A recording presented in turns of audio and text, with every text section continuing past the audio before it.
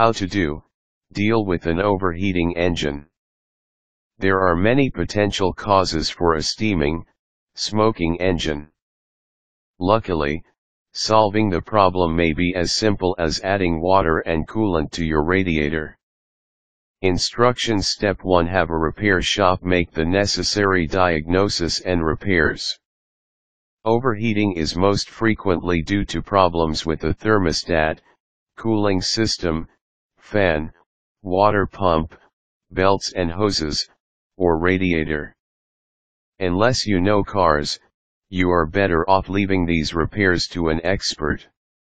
Did you know, while a standard car engine is 200 horsepower, most of the time, drivers use only 30 to 40 horsepower.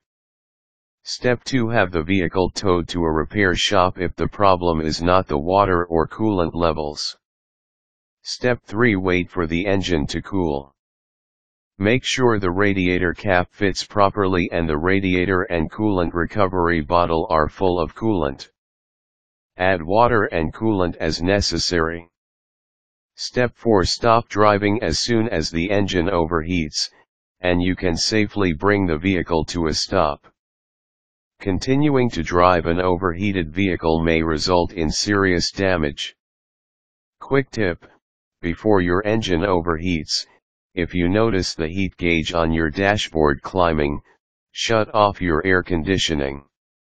This relieves some engine stress. Warning, never attempt to remove the radiator cap while the engine is hot. Doing so may result in severe burns.